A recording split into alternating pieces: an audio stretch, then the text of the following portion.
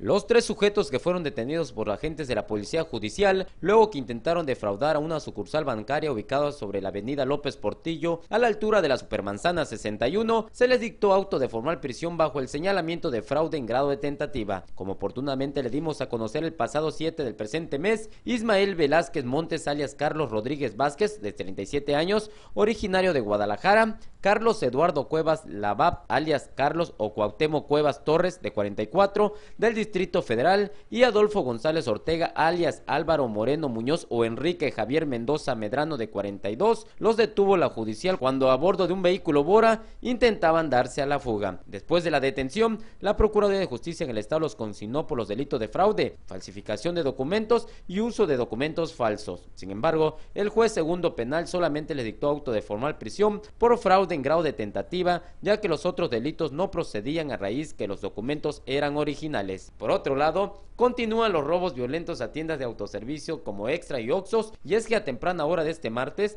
tres sujetos, uno de ellos con pistola en mano, despojó del dinero de la venta del día al empleado de la tienda ubicada sobre la avenida López Portillo, Manzana 1 de la Supermanzana 69. A pesar que llegaron varias patrullas de seguridad pública y agentes judiciales, no lograron localizar a los tres delincuentes, por lo que feliz se dieron a la fuga con el botín de 3 mil pesos y pertenencias del empleado Enrique García Leiva. En la cámara, Jonathan Díaz, voz Ricardo Torres, para Notivisión.